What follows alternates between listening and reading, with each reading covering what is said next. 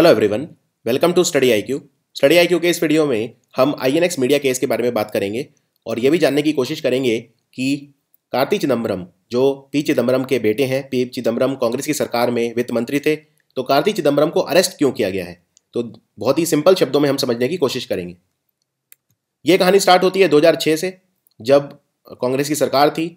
उस वक्त एक कंपनी बनी थी जिसका नाम है आईएनएक्स मीडिया ये एक टिपिकल मीडिया कंपनी थी, जिसका काम था मीडिया के लिए कंटेंट बनाना डिस्ट्रीब्यूट करना इत्यादि। इस कंपनी को शुरू किया था पीटर और इंद्रानी मुखर्जी ने। ये हस्बैंड वाइफ हैं दोनों, और इन पर शीना बोरा मर्डर केस यानी अपनी ही बेटी के हत्या का आरोप है।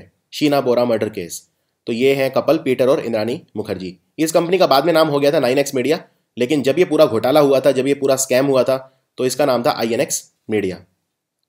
अब इससे पहले मैं आगे बढ़ूँ, आपको एक चीज़ समझनी ज़रूरी है कि अगर कोई भी कंपनी किसी विदेशी कंपनी से पैसा लेती है तो वो एफडीआई रूट के थ्रू लेती है। विदेशी पूंजी निवेश आता है इसमें, एफडीआई। और एफडीआई दो तरीके से आता है। एक ऑटोमेटिक रूट और एक अप्रूव्ड रूट अप्रूव्ड रूट में सरकार का अप्रूवल लेना पड़ता है, यानी सरकार की परमिशन लेनी पड़ती है, और ऑटोमेटिक रूट में सरकार की परमिशन नहीं लेनी पड़ती। तो उस वक्त फॉरेन इन्वेस्टमेंट प्रमोशन बोर्ड था, आज इसको ख़त्म कर दिया गया है, लेकिन उस वक्त होता था फॉरेन इन्वेस्टमेंट प्रमोशन बोर्ड ये हमारी केंद्र सरकार की वो इकाई थी, वो एजेंसी थी जिसका काम ये था कि फॉरेन डायरेक्ट इन्वेस्टमेंट उनको रेकमेंड करे, उनको अप्रूव करे ऑटोमेटिक रूट से। जो नहीं हो सकती उन्हें, यानी अप्रूव्ड रूट से उन्हें अप्रूव करे। यहाँ पर यह भी समझना ज़रूरी है कि ये अप्रूव्ड रूट क्यों होता है? क्यों विदेशी कंपनी कुछ सेक्टर्स में डायरेक्टली इन्वेस्ट नहीं कर सकती बिना परमिशन के? वो इसीलिए, जैसे यहाँ पर मैं मीडिया का एग्ज़ाम्पल ले रहा हूँ, अगर मीडिया हमारी भारत की मीडिया उसे विदेशी हाथों में दे दिया जाए पूरी तरह तो फिर उसमें कन्फ्लिक्ट ऑफ़ इंटरेस्ट हो सकता है हमारा जो देश है, उसमें जो मीडिया है, पूरी विदेशी अगर हो गई तो फिर वो एजेंडा सेट कर सकती है। तो इसी तरह डिफेंस वाले सेक्टर मीडिया जो बहुत संवेदनशील सेक्टर हैं, जो हमारी राष्ट्रीय सुरक्षा से जुड़े हैं फॉर एग्ज़ाम्पल तो वहाँ सरकार की परमिशन की ज़रूरत पड़ती है तो सरकार सब कुछ वेरीफाई करती है, उसके बाद ही कंपनीज़ को परमिशन मिलती है। तो 2007 में जो आईएनएक्स मीडिया कंपनी है ये फॉरेन इन्वेस्टमेंट प्रमोशन के पास गई एफ़ के पास। फॉरेन इन्वेस्टमेंट प्रमोशन बोर्ड को इन्होंने कहा कि ये पैसा रेज करना चाहते हैं तीन कंपनियों से। एक है डन अन एक है एन और एक है New Vernon private equity limited इतना ही नहीं, इन्होंने ये भी कहा कि एक ये डाउन स्ट्रीम जो भी इन्वेस्टमेंट रेज करेंगे, उसके बाद ये एक डाउन स्ट्रीम इन्वेस्टमेंट भी करना चाहते हैं। सबसे पहले मैं आपको ये बताता हूँ, इन्हें परमिशन क्या मिली? इन्हें परमिशन ये मिली कि आप सिर्फ़ 4.62 करोड़, यानी लगभग साढ़े चार करोड़ रुपया ही आप विदेशी कंपनियों से निवेश ले सकते हो। 4.62 करोड़ इससे ज़्यादा नहीं। इससे पहले हम आगे बढ़ें, ये जानना ज़रूरी है डाउन स्ट्रीम इन्वेस्टमेंट क्या होता है? तो मान लीजिए एक कोई कंपनी है विदेशी ए और वो किसी भारत की कंपनी में पैसा लगाती है बी में, और एक और भारत की कंपनी है सी और बी को अगर पैसा मिल जाए, कंपनी ए से निवेश मिल जाए तो बी फिर उस निवेश का कुछ हिस्सा सी में लगा दे। इसको बोलते हैं डाउन स्ट्रीम इन्वेस्टमेंट तो एक कंपनी है और आई एन एक्स न्यूज़ तो आई एन एक्स मीडिया ने यह परमिशन मांगी कि वो आई एन एक्स न्यूज़ में डाउन स्ट्रीम इन्वेस्टमेंट करना चाहती है। ये permission foreign investment promotion board ने उन्हें नहीं दी। फॉरेन इन्वेस्टमेंट प्रमोशन बोर्ड ने सिर्फ़ इतना कहा, आप लगभग साढ़े चार करोड़ यानी four point six two crore रुपए विदेशी कंपनियों से इक्विटी या स्टॉक डायल्यूट करके ले सकते हो शेयर इशू करके ले सकते हो। अब इसके बाद देखते हैं क्या होता है। देखिए, आपको यह समझना है, जब भी कोई शेयर इशू होता है तो उसकी फेस वैल्यू होती है सिर्फ़ दस रुपए। सिर्फ़ दस रुपए। हालाँकि, कंपनी का जब नाम अटैच हो जाता है इसके साथ तो वो महँगा बिकता है। फॉर एग्ज़ाम्पल आप कोई भी शेयर खरीदते हैं, मान लीजिए आप कोई शेयर खरीद रहे हैं चार सौ रुपए का तो इसमें यह समझ लीजिए कि शेयर तो दस रुपए का था लेकिन आप तीन सौ नब्बे रुपए इस नाम का दे रहे हैं कि वो किसी विशेष कंपनी ने इशू किया है तो वो बस आपकी एक कंपनी की रेपुटेशन और कई सारे दूसरे फैक्टर पर निर्भर करता है। अब यहाँ पर परमिशन मिली थी 4.62 करोड़ की, लेकिन आईएनएक्स मीडिया कंपनी ने जो पैसा था काफ़ी ज़्यादा रेज किया। इन्होंने 305 करोड़ रुपए विदेशी कंपनियों से रेज किया और इन्होंने जो शेयर था आठ सौ रुपये का इशू किया था। खैर, आठ सौ रुपए का ये शेयर इशू कर सकते थे, इसमें कोई प्रॉब्लम नहीं है, लेकिन इन्होंने जो पैसा रेज किया, वो है 305 करोड़। इन्हें परमिशन थी सिर्फ़ 4.62 की सिक्स टू करोड़ की। अब 305 करोड़ इन्होंने रेज कर लिया, उसके बाद इन्होंने क्या किया, जो I N X news company थी आई एन एक्स न्यूज़ उसमें इन्वेस्ट कर दिया 26 परसेंट, जबकि इन्हें इसकी कोई भी परमिशन नहीं थी। इन्हें डाउन स्ट्रीम इन्वेस्टमेंट की कोई भी परमिशन नहीं मिली थी फॉरेन इन्वेस्टमेंट प्रमोशन बोर्ड से। 2008 में जो हमारा आयकर विभाग है इनकम टैक्स डिपार्टमेंट उनको कंप्लेन हुई कि जो आईएनएक्स कंपनी है, वो इस तरह की उन्होंने कानून का उल्लंघन करा है। उसके बाद इनकम टैक्स डिपार्टमेंट ने फॉरेन इन्वेस्टमेंट प्रमोशन बोर्ड से सफ़ाई मांगी। उसके बाद फॉरेन इन्वेस्टमेंट प्रमोशन बोर्ड ने आईएनएक्स मीडिया को क्वेश्चन करना स्टार्ट किया। उन्होंने एक लेटर लिखा आईएनएक्स मीडिया को कि वो एक्सप्लेन करें कि ये जो इरेगुलरिटी हुई हैं अकाउंट्स में, ये किस वजह से हुई हैं। जब फॉरेन इन्वेस्टमेंट प्रमोशन बोर्ड ने आईएनएक्स मीडिया से सफ़ाई मांगी तो आईएनएक्स मीडिया ने सफ़ाई दी।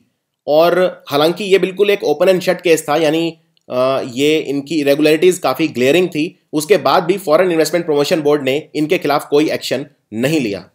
यहाँ पे समझने वाली बात यह है कि कार्ति चिदम्बरम का रोल कहाँ पे आता है?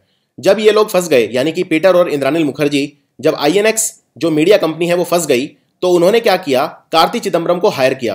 कार्ति चिदम्बरम उस वक्त एक कंपनी के डायरेक्टर थे, जिसका नाम है चेस मैनेजमेंट सर्विसेज़ लिमिटेड। तो चेस मैनेजमेंट सर्विसेज़ लिमिटेड की सेवाएँ लेने के लिए इन्होंने इस कंपनी को हायर किया। लेकिन मुख्य जो इनका एम था, वो ये था, क्योंकि इस कंपनी के डायरेक्टर कार्ति हैं, और कार्ति के जो फादर हैं, वो हैं पी चिदम्बरम यानी कार्ति जो है, काफ़ी ज़्यादा वो एक ताकतवर इन्फ्लुएंशियल पर्सन है, और वो हमें इस सिचुएशन से निकाल सकते हैं। इसके बाद देखिए, कुछ बहुत इंटरेस्टिंग होता है, और वो ये कि फॉरेन इन्वेस्टमेंट प्रमोशन बोर्ड वो ये कहता है आईएनएक्स मीडिया को कि तुम एक काम करो, तुम दोबारा अप्लाई करो। जब इन्होंने पहले अप्लाई किया था तो इन्हें 4.62 करोड़ की परमिशन मिली थी सिर्फ़, और इन्होंने रेज कर लिया था 300 करोड़ से ज़्यादा। अब फॉरेन इन्वेस्टमेंट प्रमोशन बोर्ड ने इनके खिलाफ कोई एक्शन नहीं लिया। उल्टा इन्हें कहा कि तुम एक फ्रेश प्रपोजल दोबारा भेजो हमें, और मज़े की बात यह है कि अब ये एक्सेप्ट हो गया। यानी कि इन्होंने बचने के लिए दोबारा प्रपोजल भेजा और वो एक्सेप्ट हो गया। हालाँकि ये रेट्रोस्पेक्टिव है, यानी इनके खिलाफ एक्शन होना चाहिए था। क्योंकि चाहे बाद में हुआ एक्सेप्ट लेकिन पहले इन्होंने कानून का उल्लंघन कर दिया था।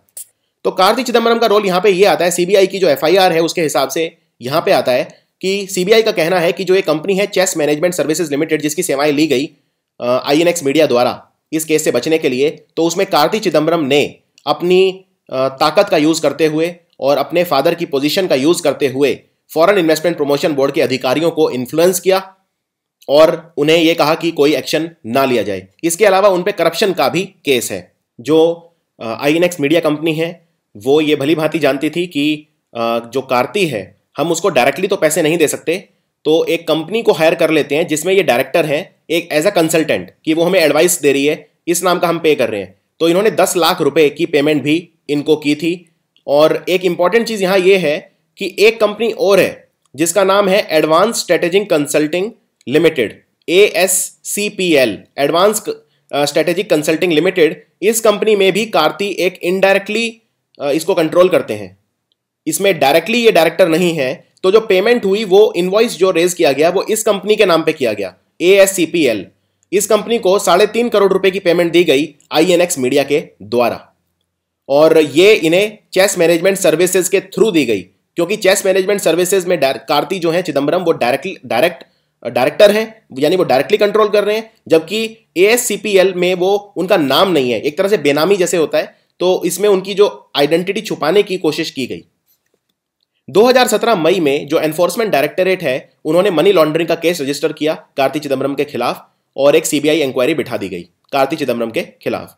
उसके बाद इनके ऑफ़िस पर रेड मारी गई कई जगह, और जो चिदम्बरम का घर है उनको, उस पर भी रेड हुई, इनको क्वेश्चन किया गया इनके खिलाफ एक लुकआउट नोटिस भी जारी किया गया।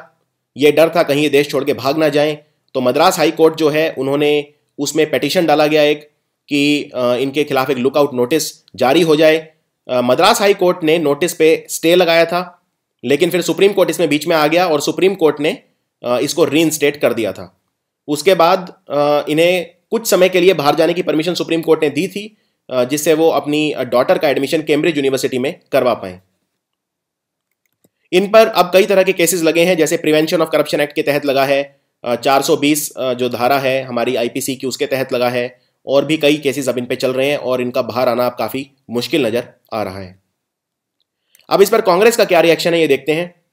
कांग्रेस ये कह रही है कि ये एक बदले की भावना से भारतीय जनता पार्टी कर रही है, यानी वेंडेटा पॉलिटिक्स है ये। ये बदले की भावना से कर रही है, और इन्हें फंसाने की कोशिश कर रही है। अभी इलेक्शन आने वाले हैं राजस्थान में, और कई क्रुशियल कर्नाटक में इलेक्शन है तो और वैसे भी 2019 में आम चुनाव है तो ऐसे में इनके खिलाफ एक इस तरह का माहौल बनाया जा रहा है कि जैसे कांग्रेस जो है वो अभी भी उस करप्शन के परसेप्शन से नहीं निकल पाई है, जिसमें वो 2014 में लिप्त थी। दूसरी बात, एक और इल्ज़ाम लग रहे हैं इन पे कि जो मुखर्जी कपल है, क्योंकि इन पे शीना बोरा मर्डर केस का आरोप है और ये बुरी तरह से फंसे हुए हैं तो बीजेपी इनसे एक डील स्ट्राइक करना चाह रही है कि उस केस से हम तुम्हें निकलवा देंगे अगर तुम चिदम्बरम और उनके बेटे के खिलाफ गवाही दे दो। यहाँ पर पी चिदम्बरम कैसे इस केस में आते हैं? क्योंकि वो कार्ति चिदम्बरम के फादर हैं, और अगर कार्ति चिदम्बरम ना तो एमपी हैं, ना एमएलए हैं, ना उस वक्त थे तो कार्ति चिदम्बरम ने जो भी अपनी पोजीशन का इस्तेमाल किया, वो as a son of P Chidambaram किया।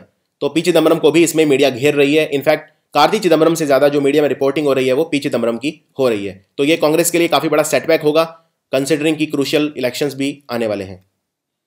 तो एक तरफ़ आप देख सकते हैं, जहाँ हमारे गरीब जनता है, जहाँ उसको खाने को नहीं मिलता जहाँ एक तरफ़ तो वो हैं और दूसरी तरफ़ हमारे नेता हैं जो अरबों खरबों करोड़ों ला, कई लाख करोड़ का जो स्कैम है वो कर जाते हैं और इतने सालों तक बचे रहते हैं। सवाल ये है कि इतने सालों से ये केस चल रहा है तो 2017 में ही एनफोर्समेंट डायरेक्टरेट ने इतना एक्शन लेना स्टार्ट क्यों किया? ये पहले क्यों नहीं हुआ? क्योंकि केस तो बहुत पुराना है ये।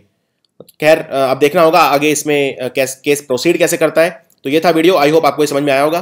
जाने से पहले मैं आपको याद दिला दूँ स्टडी आई के पेनड्राइव कोर्सेज उपलब्ध हैं इन सारे एग्ज़ाम्स के लिए। अगर आप कोई भी कोर्स हमारा खरीदना चाहते हैं तो स्टडी आई पर जाकर ज़्यादा जानकारी ले सकते हैं। वीडियो देखने के लिए आपका शुक्रिया।